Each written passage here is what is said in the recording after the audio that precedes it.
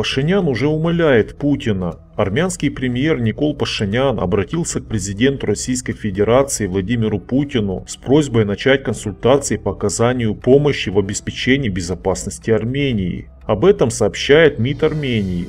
Пашинян направил письмо президенту России Владимиру Путину, детально представив ситуацию, сложившуюся в результате турецко-азербайджанской военной агрессии против Нагорного Карабаха и существующие вызовы, говорится в лживом и провокационном сообщении армянского МИДа. Под агрессией здесь следует понимать справедливую борьбу азербайджанского народа против оккупации. Согласно сообщению, Пашинян обратился к Путину с просьбой начать безотлагательные консультации информации по определению вида и размера содействия, которое Россия может предоставить Армении для обеспечения безопасности, основываясь на союзнических отношениях между Арменией и Россией, а также на странице 2 соглашения о дружбе и сотрудничестве и взаимном содействии от 29 августа 1997 года.